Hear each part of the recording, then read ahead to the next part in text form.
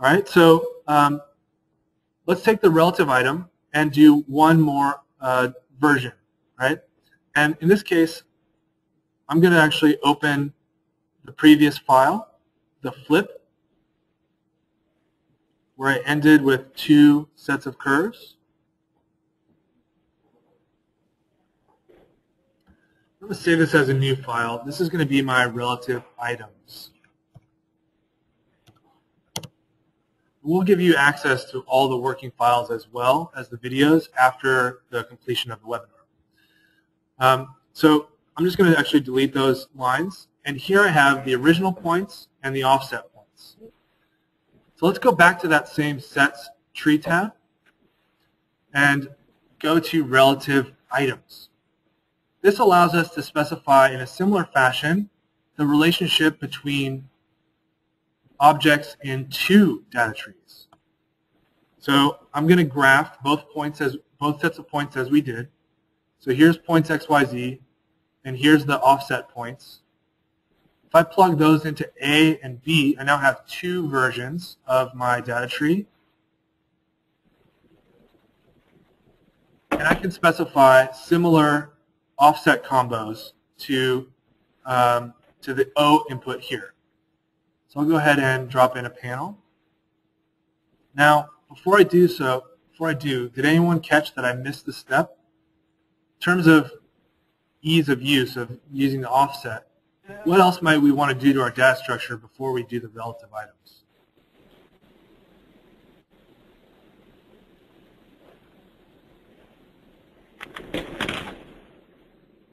Anybody? You got it. Simplify.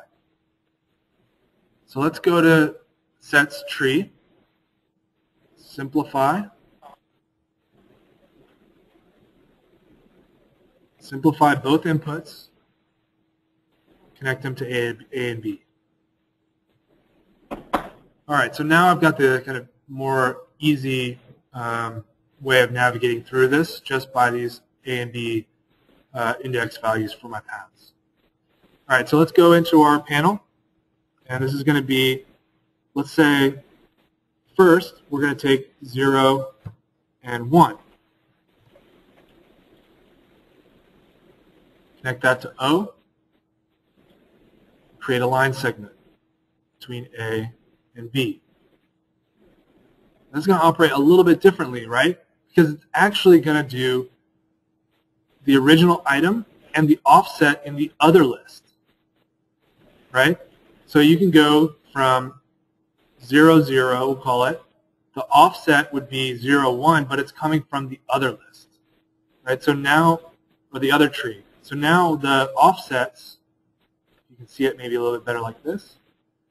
The offset is the one that takes the second point out of B. Right?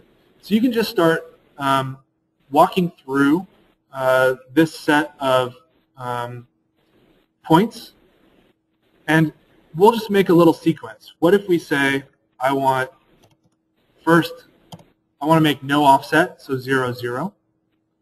Then I want to go an offset of 0 and 1 up to the next level. Then I want to do an offset of 1, 1 to get to the next level over here. I hit OK. Now I'm going to get, if I just do a line segment, the combination of all of those uh, values.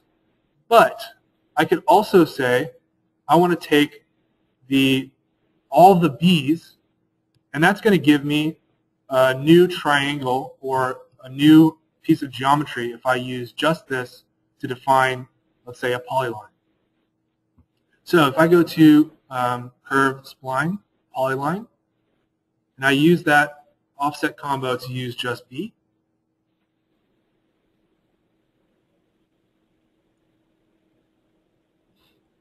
I'll specify true for my close on my object. Now that gives me all of the triangles that are here at the top level. If I wanted all the same triangles at the A level, I could use the object there, A. which would actually have to be the relative item object, not the relative item objects. So this is a way to relate two data trees um, across using an offset. Relative item allows us to relate one data tree within itself. All right, so relative item in comparison, we take in the lower level and use the same offsets. Out of B, we have the original.